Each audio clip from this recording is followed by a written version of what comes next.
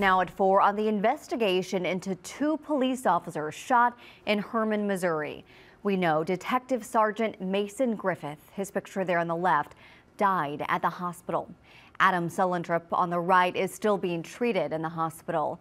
At noon now at 4, after several hours in a tense standoff, police say the man responsible, Kenneth Lee Simpson, is in custody. News 4 has team coverage tonight from Hermann. Our Russell Kinsaul spoke with those who worked closely with Sergeant Griffith. But first, we want to check in with Caroline Hecker, who joins us live from outside the home where Kenneth Simpson was found inside after that hours long standoff. Caroline. It's this home right behind me on the street. You can see traffic is actually opened back up. That was at the center of this standoff only a stone's throw away from the new Casey's General Store where this shooting took place. You can see the windows are blown out, the front door completely ripped off as Highway Patrol's SWAT team spent nearly three and a half hours today trying to coax Kenneth Simpson out of the house.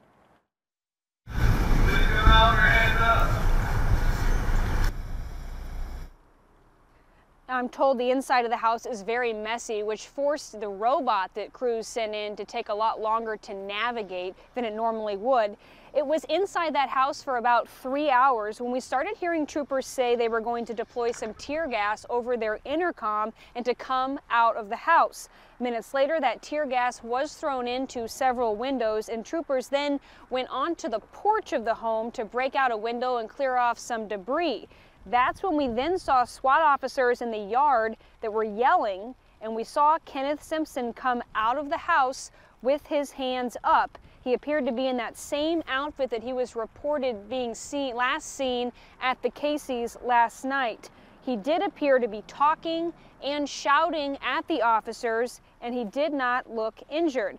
Now, the standoff began early this morning, if not a little before midnight, according to some of the neighbors. Uh, and it happened because two people that were living inside that home came running out and told police that the suspect, Kenneth Simpson, had run inside. That's when they evacuated, Highway Patrol evacuated the people living in that home. And I'm told the two neighboring homes as they assessed the situation. The robot was actually called in from St. Charles County it arrived about 1045 this morning and was sent inside the home shortly thereafter and again spent about three and a half hours inside before they noticed something and deployed the tear gas. Now coming up at 5 I'll tell you what neighbors tell me about this house and we're also looking more into what happened there at that gas station last night that led up to the deadly shooting.